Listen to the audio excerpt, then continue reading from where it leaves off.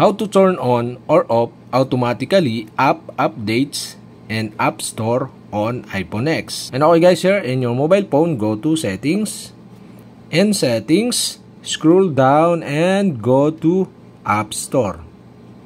In App Store, okay here you can see the automatic download section and you can see the app updates. And the app updates is turned off.